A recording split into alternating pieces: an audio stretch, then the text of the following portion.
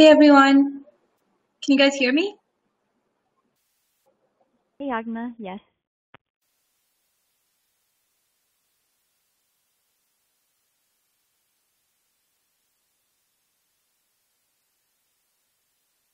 Okay, just give me a second. I'm going to actually try to give everyone privileges to ask questions. So, All attendees are muted and may unmute themselves by pressing star six. so if you guys want to ask a question, you guys can just place press star six and um, unmute yourself.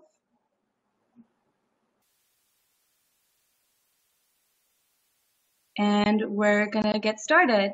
So thank you everyone for joining us this afternoon. Um, I would like to introduce Ting Pen. She will be speaking to us about financial management. Um, and I think she's going to tell us a little bit more about herself before she goes on and uh, gives us all the good stuff. So um, take it away, Ting. Thank you, Yagna.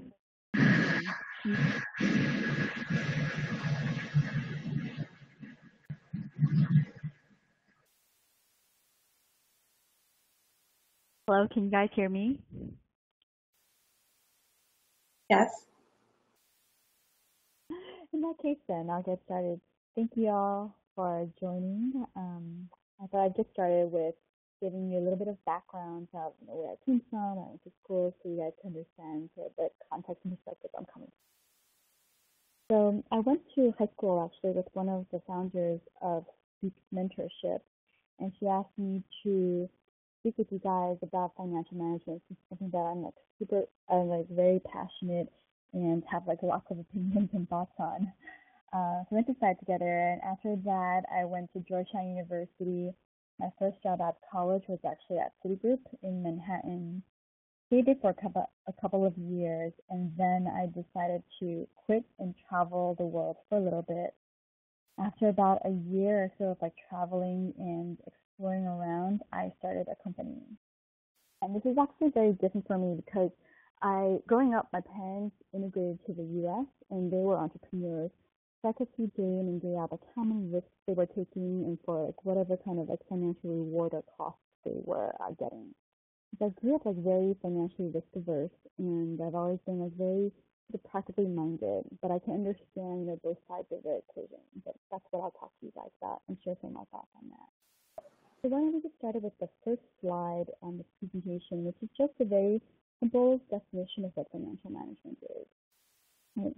This is how Wikipedia describes it in the context of an organization. But for me and as an individual, financial management is really just the ability for me to juggle my income and expenses with an eye towards immediate and future needs.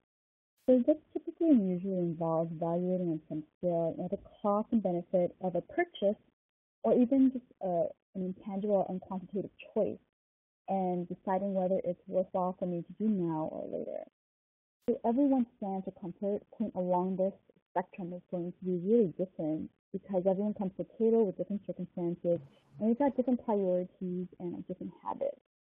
So a simple example to illustrate this uh, would be, you know, whether I'd rather spend my allowance or paycheck on a movie and a dinner with friends like today or tomorrow, or save it towards like a future bag or some other more expensive expenditure that I would want to buy.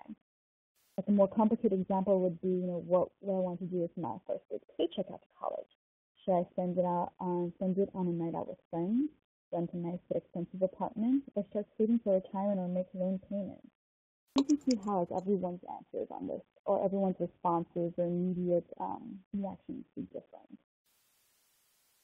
Let's go to the next slide um, where I highlighted a couple of major financial choices and considerations high school students such as yourself would be facing. Either going potentially be like looking for or evaluating paid or unpaid internships and jobs, looking at paying for college, whether can apply for scholarships, get loans, or some other kind of financial aid. Or you can be picking on a picking a college major or a career. And um, so there are a, let's move on to next slide. Um, I thought, you know, each of these major financial considerations has like a whole world of um, sort of considerations and its own like uh, their own variables to consider. So what I've done here and what I've decided to do to just focus the webinar some more is I'm going to give you some resources that you can use for like finding internships or financial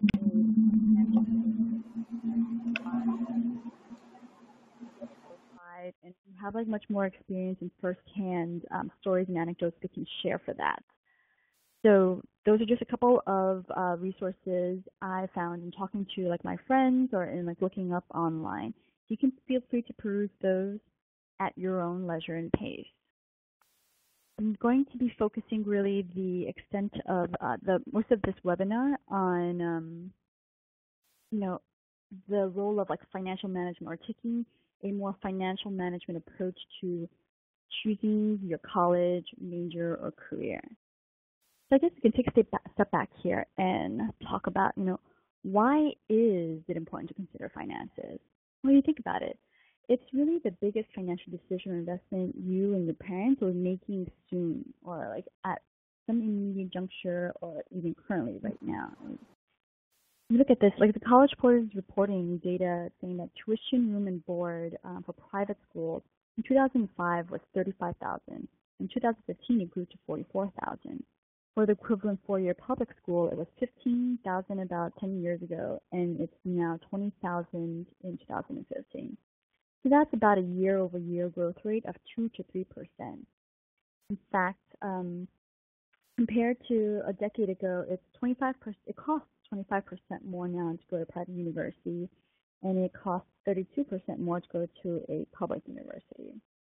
When I went to Georgetown, I remember tuition room and board being about $30,000, and my niece, who just started Georgetown this past year, her tuition room board now that the school is publishing is $60,000, and that's more than doubled in price. And you know, as an aside, even though private schools might seem more expensive, like my friends have actually had the experience where like they still went ahead and applied for it because one of the other things that private schools have is access to more grants and private endowments that they can disperse to students who are entering. So the worst case scenario, which was actually reality just a few years ago from like 2007 to 2011 recession, but many students and new graduates were entering the workforce with a ton of debt and they had very a very difficult time like finding a job to like pay these bills. The Wall Street Journal was reporting on average that um, debt the debt level for the 2015 graduating class was the highest it had ever been and amounted to about on average 35,000. And of course, this is blending the extremes of like people who entered college on full rides or had wealthy families, all the way to those who had to like borrow their way through to pay for education. And you know, and on the other hand, some people think that the traditional four-year liberal arts college is no longer worth it, and they actually support going straight to technical or vocational schools that teach hard skills. Like Germany and some other European countries work on this philosophy too. So there are lots of like different ways of um, sort of approaching this college question and financial management. So that was a very cheerful note to kick things off on, but it just shows financially what's at stake. So what it really comes down to is what do you want to show for it and like what is it worth to you? You might be lucky and you have several sources you can rely on to pay your way through college, or you could be graduating with a lot of debt that you need to shoulder in the future. Right? This isn't to say that you should only consider jobs that have high salaries that you'd be miserable doing, or that you won't be able to get by with a nonprofit uh, nonprofit job or career you can still pursue a fulfilling or social conscientious career and get by. And paying for college and taking on debt in and of itself isn't bad. I would just urge you to make the most of what you can. Ultimately, you just have to balance what you're committed to, what you're interested in, what you want to do with your future earning prospects, future loans, and be comfortable with the trade-offs, risks, and opportunities there. So that was kind of the introduction, and I'll break it down a little bit more. So this whole concept, right? There are generally two schools of thoughts like when it comes to colleges, careers, and like majors. One is that college should prepare you for a career or a job, and the other is that college is time to explore and get a well-rounded education. So let's go through the financial management or considerations of each of these paths.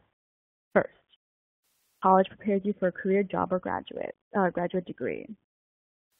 So if we wanted to adopt a financially um, a financial management perspective on this, the most logical way to measure your success or the return on your college tuition investment is if you can get the job you want or the career that you want.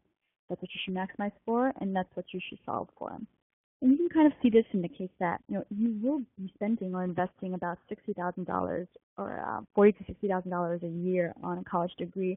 You should have something worthwhile at the end of it, so that you can either pay it off or um, can move forward. Right. So one of the things that you could do to maximize and solve for it is, well, if you have an idea of a career in mind, look at the college you're considering and check out the career center Right? Look for the names of companies and organizations in those fields. Are the types of jobs like you actually want to apply for getting posted there? Do those kinds of companies and organizations attend the school's career fairs? Are there many postings um, like for the type of job or like even similar jobs that require your skill set on the school's website? For example, my at my company, we generally tend to steer clear of like large job sites like Monster we post directly to schools and we select or we highlight certain majors that we're interested in receiving applications from. Another factor you can look at is, are there a lot of alumni on LinkedIn who have gone on to do this job for at the school? That's always a good sign when, um, you know, alma mater, when you are a recruiter, you generally tend to feel more affinity for your alma mater. So one of the top places you'll think about is you'll go to your old school where you graduated from to like hire and post for more people. And as a student, that's good for you because you have a network of people who have shared the same college experience as you potentially will, and they'll be much more likely to be receptive to any of your questions for help or any requests for mentoring. Of course, these aren't definitive questions. They merely just give you a sense of the existing network and infrastructure and existing support for your field. So you can get a sense of how easy it might be to launch a career in that area or if there's not that much support around it and how much of an uphill climb you might need to make up for. For example, I had a friend who attended the University of Maryland and who was very interested in pursuing financial careers in investment banking or consulting. But unfortunately, he found that there weren't a lot of companies that went to his campus on UMD to um, participate in career fairs or to conduct on campus interviews or to post many jobs there. So he actually had to go out of his way to come over to Georgetown University and attend the career fairs and like the various um, career workshops and uh, networking events that was hosted on our campus. So it just goes to show, you know, kind of how important it is for you to ideally line up where you're going into as a job and like where you can apply to school for and where you're accepted, accepted at. So working backwards from that career point, why do you actually want to uh, pursue a certain career if you have one in mind? Or what career should you pursue? So this is unfortunately a bit more kind of amorphous. Right? It's best just to always speak to various different, as, as many people as you possibly can to like gather more information, like research what it really is. Right? So talk to your professors. And in addition to your professors, make sure to speak to people who are currently in the field or those who have left the field and like switched out. So that way you get yourself a balanced view of the pros and cons. Right? I was a double major in accounting and finance. And so I was kind of torn for a long time about whether I wanted to be an accountant or whether I wanted to be like a financial analyst or some other profession on the finance career track. I went to my professor and I, my accounting professor, and I asked him, "Hey, so what do you think I should be, like an accountant or a finance analyst?" And my accounting professor says, "You should be an accountant. Like these are all the reasons why you should, and like being accountant is awesome. And then I went to my finance professor to get his perspective, and he's like, "Oh, you should definitely go into finance. There's so many more opportunities, and like here are all the pros." So people always have their own kind of perspective that they bring to the forefront when they talk to you. That's why you get like talk to a bunch of different people and find out what it really is like. Are people who switch jobs like why did they do it? Like was there something they really dislike about it? At times you know, people are more predisposed towards sharing like the positive side of things, and so you have to like dig to see like what the negative things are. There are also a lot of online resources, right? Like for example, if you wanted to be an actuary, you can search for things like you know how to become an actuary, what it's like being an actuary, are some related jobs to that degree, how to get a job as an actuary, what do they actually do on a day-to-day basis, or how to advance and progress in a career as an actuary, along with other advice and resources. Um, one other important thing that you can do to bring more of a financial management discipline to picking a career is to look at and review the salary stats and the number of job openings there are for the career major you're considering. There are a lot of resources for you on this um, on this and at the Bureau of Labor Statistics. They released this handbook called the Occupational Outlook Handbook that shows you, you know, like what the growth prospects are like for this career field and like what's actually available there. So let's say, um, let's say people are interested in becoming reporters. So I looked this up earlier today. The median salary for a reporter or correspondent or a broadcast news analyst is $37,000 a year. And uh, the job outlook over the next 10 years is actually dropping by 9%. So they're going to be projecting about 4,000 to 5,000, I believe, fewer jobs in the overall economy in the U.S. in this field, right? And the industry itself is changing. So there was a traditional focus on print um, print work. So you had like newspapers, magazines that actually get printed, and, and people are subscribing to them, and they get delivered to them. And there's a shift now more towards digital sites. So places like BuzzFeed and Business Insider would be digital news uh, news companies that would hire reporters or correspondents. But they're, the two companies or the two groups of companies are very different. So you just kind of know what you're getting into. And now let's go back to the median salary point. You have to decide whether like this is worth your while. Is that okay for you based on where you want to live or the lifestyle you want to maintain? For example, you could make that work in New York City if you're willing to share an apartment or live at home and commute for a longer time. And you could also cook a lot, you don't go out a lot. But if you love going out and hanging out with friends, or you have expensive hobbies or uh, collections you like to maintain, without generous parents, it's going to be a lot more difficult and stressful just to make those ends meet. And this is without having to pay off your student loans, which is a whole other decision and area of like uh, consideration altogether. There are also places like Glassdoor where you can look up salary statistics. Um, you can also look up more detailed statistics at the Bureau Labor Statistics for the occupational employment statistics report. And I'm reiterating these multiple points um, because I so at our company, you know, we have various like research analyst job postings out once in a while. And there was this anthropology major who I interviewed who I was considering for the research analyst position. And you know, anthropology to me has always been something that's like really interesting, but I never really considered pursuing as a career. And the reason why is that it's I didn't think that there was something that was like employable, which is very important to me. Or that was not employable. Excuse me. Let me uh, clarify. It's just difficult to find a job there, and that was kind of the sense that I got from the anthropology major too. Like he had two uh, short-term jobs, and he was constantly looking for work because what he wanted to do did not get posted that often, or there weren't that many companies that had positions open for what he wanted to do. Uh, there's this one time he was doing field work all the way out in Africa where he was basically monitoring chimpanzee uh, population movement from place to place. And so he'd literally go and check out, count chimpanzee droppings and uh, dung droppings just to make sure, you know, uh, to monitor where population was moving and migrating. This is stuff that interested him and that he was willing to do, but unfortunately, opportunities like that pop up very rarely. And so when you're deciding on a major, which I'll touch on in a, a little bit later too, if you should take a look at as both the availability of the types of jobs you'd be interested in going into, as well as like if it pays you. And I also want to say, don't do something just because you're going to be making a lot of money. I don't want to give you that impression. If it's not a career you can enjoy, find challenging, or even interesting, or you don't mind doing the job itself in some facets, you're not going to be happy and it's going to be resting heavily on your mind every day, right? For example, um, investment banking or consulting, uh, those are some of the very popular career paths um, at college when I was graduating.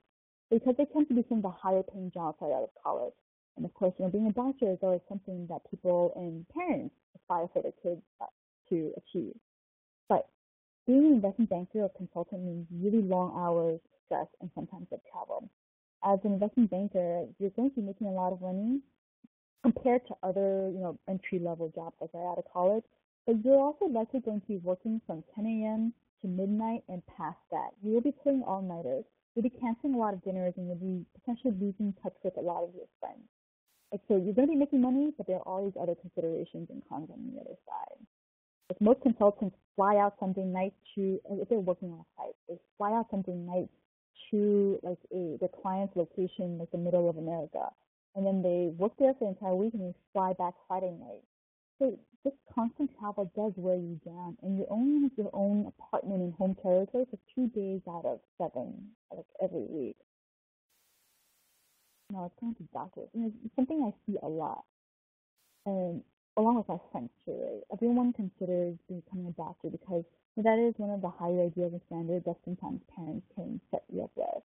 But unless you fervently want to become a doctor and you can't imagine yourself doing anything else, please consider other options.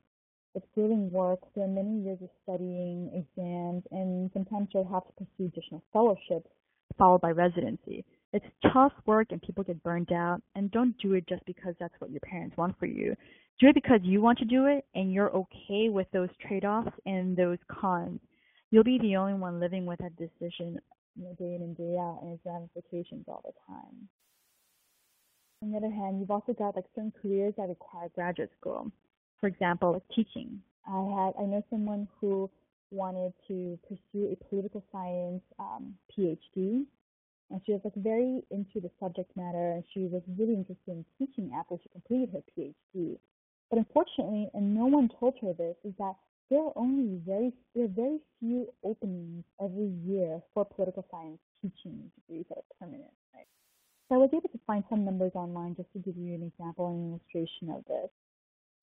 Um, sometime in 2010, right, um, the association published, uh, the PhD Political Science Association published some stats basically saying that every year, like a thousand students graduate with political science PhDs, but only 48% of them get permanent academic positions. The rest of them either find adjunct or like other temporary research positions, but only 48%, that's less than half, are permanently employed in academic positions. This acquaintance of mine in particular she and her husband were both looking, uh, were both PhDs, and they were both looking to ideally work in the same location or the same school. And so that's going to narrow the field even more. Now, of course, she was gung ho about political science, so the risk of like potentially living apart and like these low numbers didn't deter her. So she wanted to go ahead with it, but she knew what she was getting into, and that was what mattered. Um, so overall, it's overall, um, I would just say, you know, yeah, you just have to like balance your commitment or desire to that career with your earning prospects or future loans and just be comfortable with the risks, downsides, and trade offs there. And that should that basic statement would get you through a lot of things. So let's move on to picking a major, right? Um, so you've got your career, and the next step would basically be to like pick the major that would be the most efficient or effective at preparing you for that career and landing your job. I had a friend who um, had a degree in fashion merchandising. She went through like four years of schooling, and then after she graduated with that degree, she realized the actual work in fashion merchandising was completely different than what she'd been learning and studying, what she thought it to be. So she looked around and then she just wound up switching altogether and working for a fashion department or a magazine. So if you're going to, if you've got this career in mind and you know what it's going to entail, then you should pick a major that's going to get you there and have a clear idea of what that path is going to be. Right. Well, what about a what about the second path of uh, of college and its purpose, right? getting a well-rounded liberal education and um, just learning and exploring and figuring yourself out. Like there are a ton of people who believe in this path or this purpose of college. And there's definitely truth there. college is a fun time. It's like the first four years of your life where you're sort of independent and you're away from your parents. And it's a great opportunity for you to learn more about anything you want to do or learn more about yourself away from some of the major influences in your life previously. If you don't know what, what you want to do, this is a great time to take classes or internships in different areas and use those four years wisely to get a better idea. Right? But then I always wind up thinking, you know, like, what is your plan after college? Are you going to be fortunate to have all your tuition or even your future expenses taken care of? If not, you could, in the worst case scenario, potentially be starting your adult life burdened with debt and have no clear cut or easy way to earn money. It's just a bit harder to translate that kind of an experience into and sell it to a prospective employer on your resume and at interviews. You know, eventually, and eventually you'll have to pick a major. And of course, because I'm still like financially risk averse and like very practically minded, I'm always biased towards choosing something that's employable for the sake of a return on your financial investment of tuition and board and four years in college. Right? I would actually advise you to have uh, at least one major or minor even that can be translated into a career path you're fine with. For example, you know, I once had this discussion with a reporter about the value of an education. He argued that college should be about pursuing your own intellectual interests and majoring in something that aligns with it. His example was philosophy. Now, philosophy was something that was very dear to him, and um, it also had the practical applica- application of instilling some mental discipline and training people how to think through problems question and resolve them, which he thought would be a pretty decent foundation for future job. I can see how that works, right? Like studying philosophy, you are always like you're constantly picking at things, turning them over in your head, thinking about reasons and like working through different issues. But my perspective is just that ultimately it's a bit of a harder uphill effort to get employed. You can definitely do it, but and major in philosophy. But think about this, right? what companies are hiring philosophers, right? If that, even if, or what you could argue is that, like, I'm interested in majoring in philosophy, but I don't necessarily have to work in philosophy. That's a very valid point, too. Like, if you're interested, if you're a philosophy major who's interested in working, at a couple of examples here, like at an advertising agency, a merchandise company, a bank, or even a healthcare company, you'll be competing against a ton of other people, right? And so would it be easier for employers to choose someone who has an advertising major, maybe a business degree or a health background or a philosophy background? The issue is that companies are swamped with like resumes for each position they get. When we post a couple positions on um, you know various colleges websites, we would get about like 10 to 100 a day so they're going through hundreds and thousands of resumes for each position they post, and you're going to be competing against others who are just as smart as you, but who might potentially have an edge because they've actually studied that or they have it listed on their on their um, resume. So my advice for these hypothetical students is go for those philosophy classes. You shouldn't deny yourself that but try to either double major or minor in something that gives you that has like an easier job uh, prospect or path ahead. If not, you know, consider some other backup plan or be willing and be cognizant that you might have to put in more effort to find a future job. You might have to spin or you might have to like tailor your resume for every different kind of job and uh, spin it some more so you can get you can explain to your prospective employer like why it is. Um, that you're applying for that job. Excuse me. Let's see. Uh, uh, I have a couple more anecdotes to share, but I wanted to first uh, move you ahead to. Uh, so before I wrap up, I, I included a slide here with some resources at the very end, slide six, six with some resources about just like how I track finances and I wasn't really intending on going through these because I figured this would be something that you can peruse on your own to see if it makes sense for you. But I just included it there just in case so you guys can see and use it on your own time. Um, okay, back to the main point that, back to my main spiel. So you can still pursue something that's conventionally viewed as, you know, less financially stable. So some examples of these are becoming an actor or becoming a writer or working at a nonprofit. Right? You just have to be more on top of and be more flexible about like the financial management because funds, income, and earning in these areas are traditionally much tighter. You can definitely make it though. You might just have to look at alternate sources of work or revisit your expenses so you can afford to eat and sleep somewhere. There's but where there's a will, there's a way. So you always hear about like aspiring actors, right, who double up as waiters. They really want to become actors, but uh, you have to go to like fun, like a ton of auditions, and you have to incur expenses for your portfolio, glamour shots, and or like even acting reels. And that doesn't always pay the bills sometimes. But these people make ends meet by working as waiters in downtime. Like that's how Brad Pitt made it through but for every Brad Pitt, like there are always going to be maybe 90% of other people who have to ultimately pursue other uh, resources or just wind up working as waiters for a really long time. But if you're really passionate about being an actor and you can't see anything else that you can be, by all means go for it. Just be just be cognizant that you're going to have like a bit more of an uphill battle. even writers, right? Uh, I have a friend, I know someone who was a writer, and uh, he graduated from his master's of fine arts. And he's basically, he isn't able to find, like, his life's goal is basically to, like, publish stories. But there's going to be a downtime between different stories, right? And so you've got to make, you got to pay for it somehow.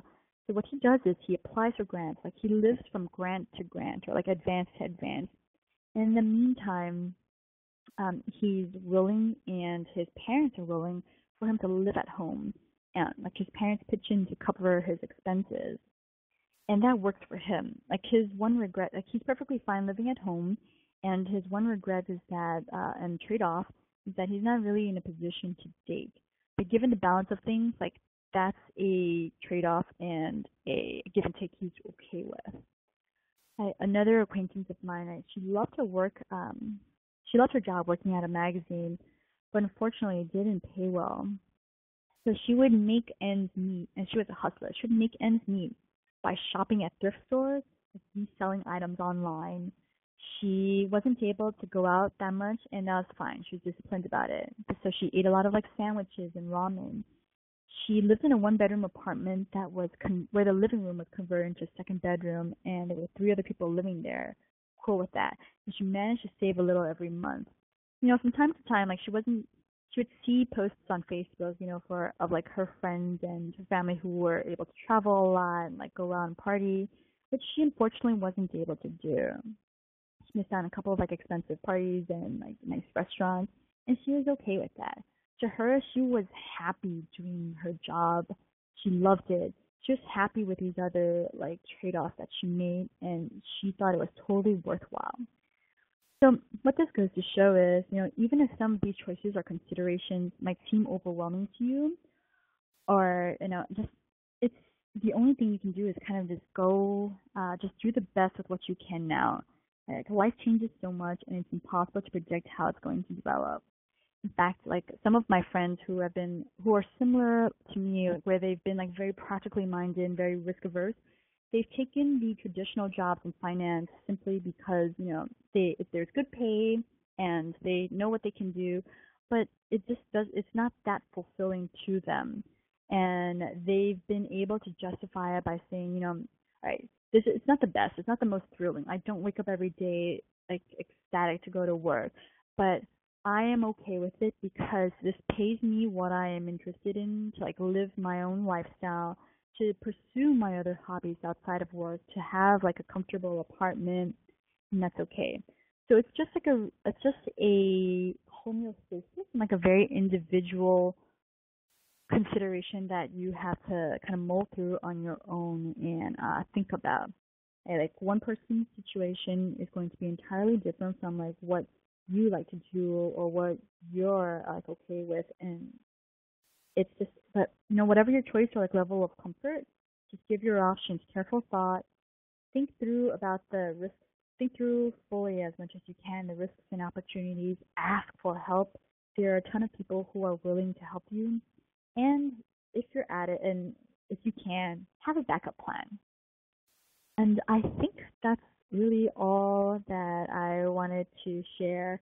I do apologize for the rant and the heavy focus on finances, but it is something near and dear to my heart, and I really wanted to share with you guys. So, um, Yagna, I think that's about it. Uh, do any of you guys have any other questions? Thanks so much, Ting. Um, that was really great. Um, like I said before, you guys can press star six and then unmute yourself if you have any questions for Ting.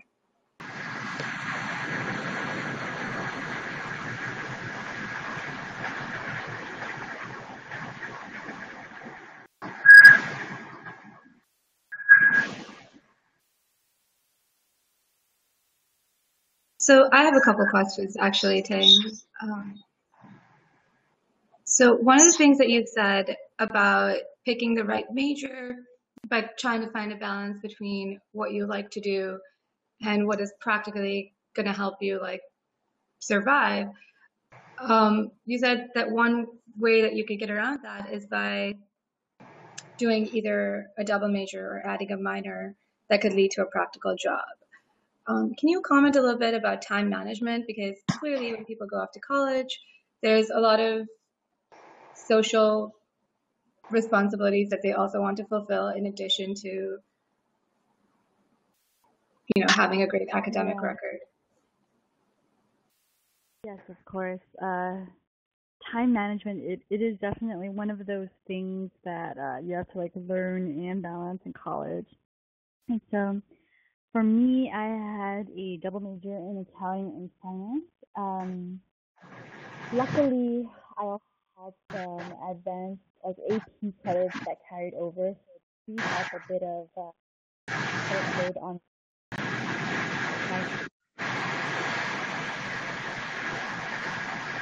is,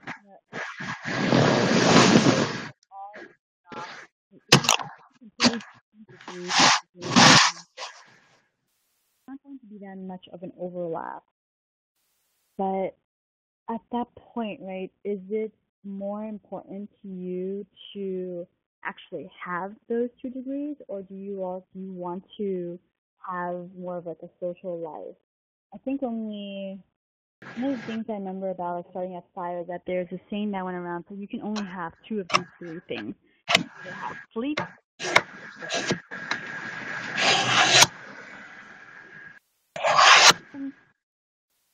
like grasp certain concepts in like those two different majors or minors very easy, then you don't have to make that kind of a consideration. But if you find that you have to like study a lot, there are ways that you can still like study and be like social. You might not like sleep that much, but or you might have to like cut down on like procrastination, but you can definitely make it work. Like go to the library with friends and like have study sessions there. Or you can even um tag team with friends in those same fields, like block and tackle the course material. Know, um, you'll take one chapter, I'll take the other chapter, and then let's compare notes and let's like talk this through, or just give me your notes and we'll swap, and then we can basically cover the same ground in shorter periods of time. You do have to be more creative, and at some point there might you might be like too overextended, but those are just some of the like if it's worthwhile to you, then you'll make it.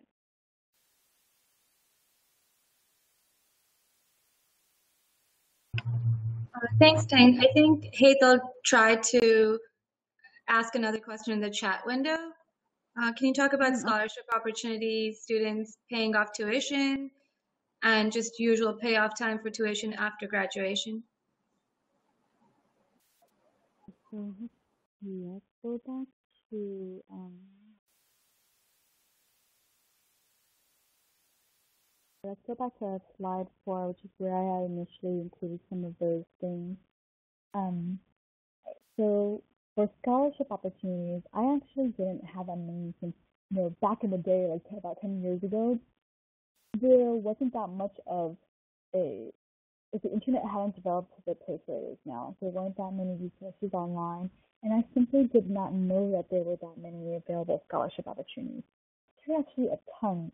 I was just looking the other day at like Cappex and FastWeb, and there are like 6,000 organizations or like 6,000 types of scholarships that are out there that people likely don't know about or might not be that diligent about applying for. there are a ton of places that you can actually look at online alone and like skip through, see if it makes sense for you.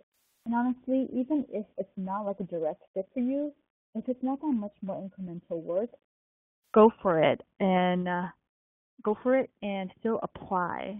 Because I think I was reading somewhere online, um, like this one student had like no physical uh, no physical affinity or like did not play any sports, but she wound up applying for and receiving like a sports oriented scholarship. So you never know what you can get. And in the case of scholarships, it's sort of you should just like try to apply for as much as you can and see what you get back. You'll never know, but if you don't apply, you won't be able to get it. Um, so this is so there's like you can get scholarships before actually getting into school, and while you're in school, you can um, you can uh, apply for further scholarships there. Right? Once you've identified like there's a major or a field of study that you're interested in, there's invariably undoubtedly going to be some kind of professional organization or association of members in that field. And those organizations and associations usually have scholarship opportunities. So if you're interested in marketing, go look up the Public Relations um, Association or the Marketing Association. They have scholarship and money to give away. Or speak to your department chair or your professors. They might know of other opportunities that aren't publicized. They're in the field and they're in the network and they know these things and there are always resources for you to go to. Um, what else can I say about like scholarship opportunities? Um, move. I don't know if there's anything else I can add about scholarship opportunities, but uh, for Hethel's second question about like paying off tuition during university, like I've never. I think unless you know your parents are really wor- are really wealthy, like it's probably going to be um rare for you to have, or you have like a full ride, it's probably going to be rare for you to be able to cover your tuition during university. You can certainly get like a ton of financial aid if you apply for it, like various scholarships if you expend some effort, and it'll help to uh, go forward. It'll help cover most of your expenses going forward. When I was in college, I also um, looked into like internships and jobs outside of the scholarship and financial aid field there's always like work study arrangements or miscellaneous jobs um, on campus. Or even if there are no jobs like being provided by the university itself, there are always jobs on like Craigslist or jobs that parents and other residents in that area will post at the university. There are lots of opportunities there for you to uh, check out to check those out. Um, I was lucky to get a work study placement and it helped to provide for a lot of like my own miscellaneous spending, you know, like going to Wet Seal and shopping or like ordering uh, deliveries when I was feeling really lazy about cooking. Um, it's sort of hard to talk about uh, the payoff time for tuition after graduation because of a couple of things. Know, most loans can be renegotiated or loans can be renegotiated to for the payoff time to like begin later and I think, if I recall, like my loan, my student loan, there was definitely a period of time where I was able to just focus on like building up savings and working before I had to like pay it off. So I actually unfortunately don't know too much about like loan payoff. And but I'll look around online and see what I can find and then I'll email it to the organizers and hopefully they'll be able to share it with you guys I think I tried to answer most of Hethel's questions. Um, this other question about double major, or was it financially difficult? And the bank app listed on the last slide is helpful. Okay, so the way it works in college is that, or the way it worked at least at Georgetown, is that you pay a tuition amount every semester or for the year for a set number of credits. So let's say it's like 30 credits. That's basically like the balance you have to start with. Each class you take is about, I don't know, like three credits or so. Let's say, for example. So you could hypothetically take like up to um, up to 30 credits worth like over the course of a year. So each semester you might take like five classes, and each of those five classes were three credits, so that's 15 credits. So unless you actually take more than 30 credits, like you don't have to pay more in tuition. And um, I was quite lucky lucky in that I did have some breathing room in those credit space because I was able to carry over some of my AP credits. So I took like a lot. I took the absolutely necessary classes I had to take to do my double major. And again, that was also pretty lucky because there were some overlapping classes within accounting and finance. So I didn't need to take uh, the required classes twice. So that freed up more credit room uh, for me. I don't think it was that financially difficult unless you really want to take like more than the credits that are allotted for you. And you know, even if you, um, the other thing you could hypothetically do, if your double majors or minors are like vastly different, is you can still take those the required classes for credit, but nothing is really stopping you from attending classes as an unregistered student. So if I were going to be really practical and I wanted to like maximize my college time, I would probably do I could do like two different majors and then finish up the rest of my core requirements. But in whatever free time I had, if I was interested in something that, you know, just for intellectual curiosity, I would just try to see if I could fit into my schedule and just attend and not take it for credit. That's another way you could do it. Or you could supplement it with like a ton of free online um there are a lot of like free online resources right now where college level or like even high school level professors will teach and host these webinars where they actually go through the concepts. You can even supplement it that way. Let's see. The bank app on the last slide. Which one? Had a couple there. Oh, okay. So bank apps are they are pretty helpful. Okay, so I bank with Capital One and TD Bank. So whenever anything happens on like my credit card or my checking or savings account, I get an alert. And this is really more so for my own um, paranoia because I'm always, it's just we- a weird thing that I have, a weird tick, but I'm always afraid people are going to steal my identity. So I have alerts set up for everything. So anytime like a charge happens, I'll get a pop-up on my smartphone. Oh, such and such withdrawal happened, such and such charge happened and if there's anything that I don't recognize, then I immediately call up the bank. It's just nothing has bad has happened so far. I've been quite lucky there, and um, that has worked out for me so well. This is only because it's my own like paranoia. no one else shares the same concerns as I do about that. The one thing I do want to um, highlight, Cranveer, and I'm sorry if I'm butchering your name, but it's the smartypig.com. Uh, dot com. it's a it's a website and it like basically links up to hold on a second, let me go there. Refresh my memory. What I love about this is that it lets you um it lets you categorize and organize your savings, right? So if I wanted to save up for a vacation, I could label one account, you know, vacation savings. Or if I wanted to, you know, like spring break is coming up, so I wanted to save up for that. Or if I wanted to save up for like a smartphone purchase, then I could label another account for that.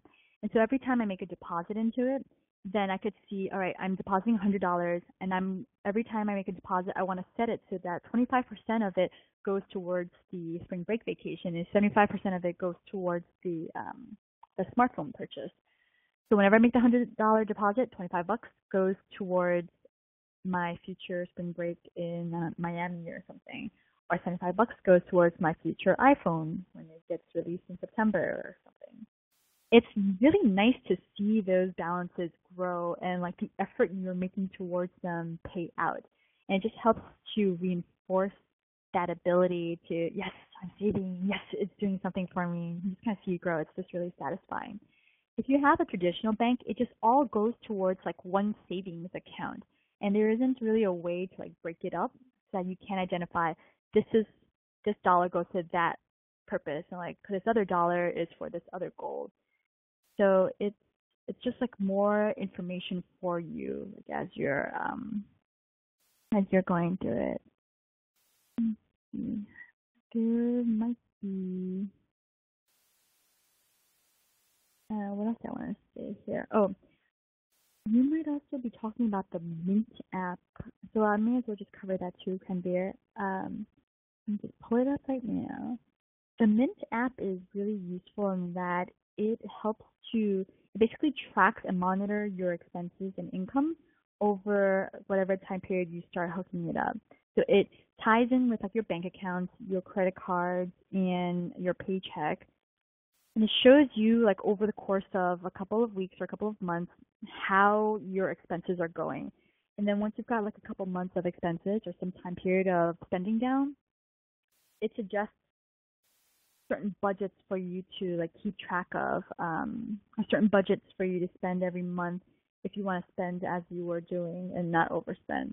Or it will actually suggest certain savings goals for you to hit and the type of how you would have to change your budget in order for uh, in order for you to actually meet those saving goals. So you can basically be like, I want to save a million dollars when I retire in 65 years. Well, if that's the case, then Mint will suggest to you, okay, this is what you should be doing for your budget. This is how much you should be investing and how much you should want it to grow. So it does show a lot of that good information. You just have to play around with it and commit some time to like building up your profile of spending and whatnot. I hope that uh, answers your questions, Kranvir. If you have anything specific, please let me know. I will try to do my best to address it.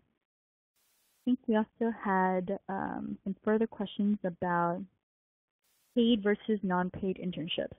And this is a very interesting and like thorny issue. There are a ton of companies who post non-paid internships because they're basically trying to get you to do like the most basic menial and junior um, jobs or like tasks for free.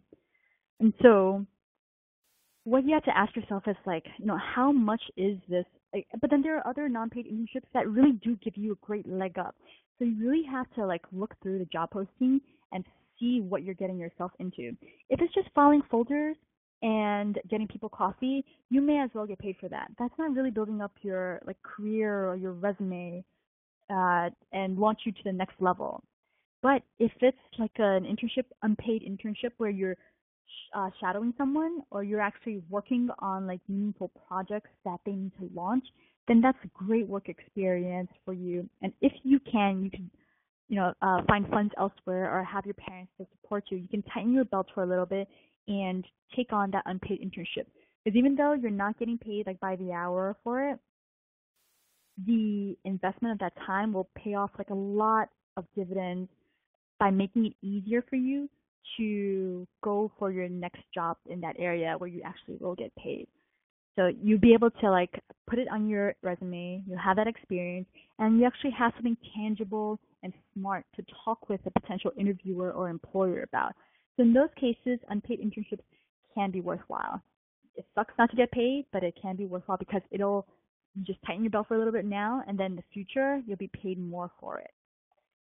Um, see, paid internships, I think at the high school level tend to be a bit more difficult because there are like lots of laws around, you know, hiring minors and um, hiring minors are basically people who are under 18.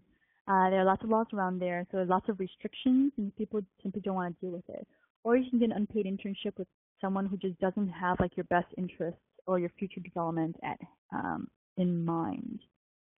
And uh, you know, when you are in these unpaid internships, like they generally tend to be like either for a semester or for a set period of time, right? Like there might be a project that requires like three months of time, and so you'll just invest that three months of time in it. It really just depends on um, the employer and what you're getting out of it. Of course, you know if you're and if you're going to, but if the project is going to ask for like a year's worth of your time and it's going to be unpaid, you can potentially th- that's going to be a bigger threshold to like surmount, right? You could potentially take it and or consider it and do it for a couple of months, and after proving yourself, you can potentially even ask for more, uh, ask for some minimal uh, minimum wage pay. That's not unheard of either. If your company values you and likes you, then they'll try to work out some kind of a solution for you. Uh, I think there's another question about taking AP credits with me. Um. So I I actually don't know if you guys are in high school still, uh, what grade you are in high school, right? Uh, but you'll have these opportunities to take AP, we call advanced placement classes. They're meant to be college level courses. So you could essentially take a college level course in high school for free and have and be uh, recognized for your accomplishment there and have it carry over to college. So the, one of the things I did was uh, AP credit, AP uh, microeconomics. And after I did like a, a year of that college level course, I took the advanced placement exam. I don't remember if I scored like a four or a five, but in order for it to carry over into college, you have to score at least a four or a five on that to prove you have some kind of mastery over the material. Then you basically you get a sheet of paper from like your high school and you include it in your college application. Or now that it's 10 years since I've um, since I graduated from high school, potentially it just transmits electronically. Um, so your college will receive. Okay, I see here that Ting Pen has gotten a four or five in microeconomics. That's great. This fulfills her economics requirement in college because you know in college you have to take certain courses. This fulfills her college economic her college economic credits uh, economic requirement, excuse me, in college. So she doesn't have to take that, which means there are three free credits in the example of you know three per class and like 30 in a year. There are now three free credits that you can um, apply towards any other class that you might want. So there's that. Like the AP credits will transfer over and it basically frees up space in your um, class schedule in college so you could take other classes. But then the trade-off of that is these classes you're taking in high school are a lot harder. They're meant for college level students. So you're going to be studying harder and um, you have to pass that exam and it's going to be difficult. So like it might actually uh, you might find it to be very difficult for you, and it could could you could be struggling with it. And so it might also um, might also result in a lower score or a lower GPA or a lower grade than if you just took in the normal level. So there are like trade-offs there too. I think those were all the questions that I've seen so far. Does anyone else have other questions?